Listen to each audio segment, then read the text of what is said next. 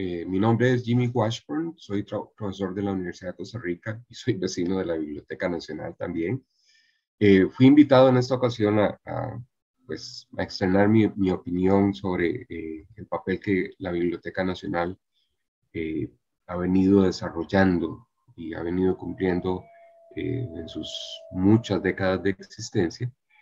Pero quiero en, este, en esta ocasión hacerlo con un motivo en particular y es celebrar el benemeritazgo de la Biblioteca Nacional, que me parece un reconocimiento muy, pero muy bien ganado, fundamentalmente porque ha sido una actividad tesonera, ha sido una actividad eh, constante, eh, hay un interés muy claro de que la biblioteca o el sistema bibliotecario nacional tiene una función que cumplir para con la sociedad eh, y que por supuesto requiere que, más apoyo, además de que requiere involucramiento de las personas, la población civil, otras instituciones, etc.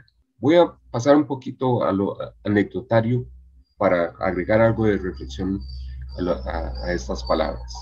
Desde jovencito siempre fui partidario de visitar la biblioteca y, y durante mis años de colegio y después de universidad este, no faltaron las tardes o mañanas que, asistía a la Biblioteca Nacional, ese mismo edificio que todos conocemos, a, estudiar, investigar, a revisar documentos. Algunos libros solo ahí los encontraba, entonces necesariamente tenía que ir ahí. Y todavía significa para mí algo muy bonito saber que voy para la Biblioteca Nacional.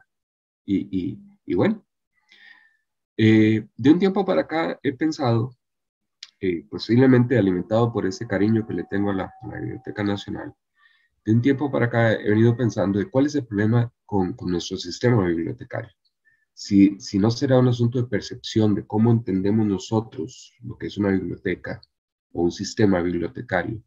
Y, y, me he puesto a pensar si será que todo lo reducimos a que es un edificio, que ahí está, y que su misión es guardar conocimiento. No importa qué completo sea ese conocimiento, no importa em, qué podemos encontrar ahí, no importa.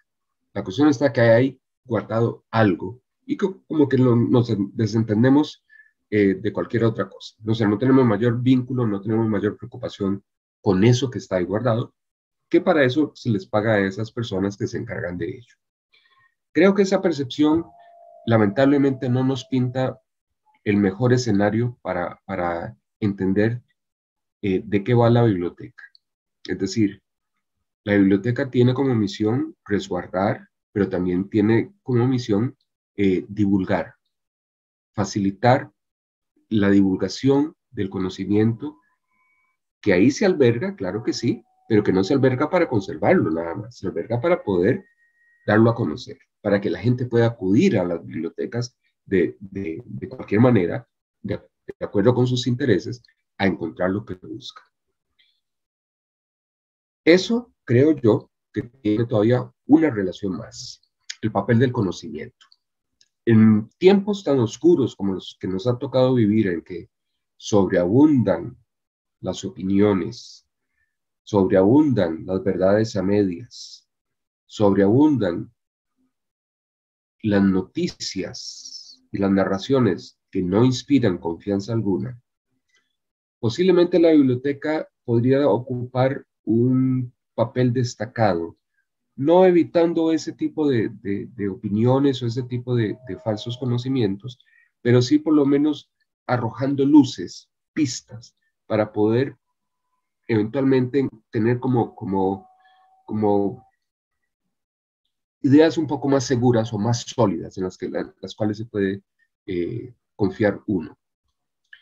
La Biblioteca Nacional, mm, me enteré hace unos pocos años, viene realizando un trabajo de divulgación, de acercamiento a la población, que me parece sumamente meritorio y que yo creo que en estos tiempos oscuros, como vengo diciendo, eh, debería multiplicarse aún más. Es decir, la biblioteca me parece que ya lo está haciendo, pero posiblemente se, requiera de más apoyo para ello. La biblioteca debería ser un recinto de puertas abiertas. De tal manera que la gente pueda cruzar, entrar y salir de ese recinto con diferentes experiencias, intercambios de conocimientos, aprendizajes, desarrollo de experiencias, ampliación de miras, etc. Para cerrar esta, estas pocas palabras que quiero dedicarle a la Biblioteca Nacional, eh,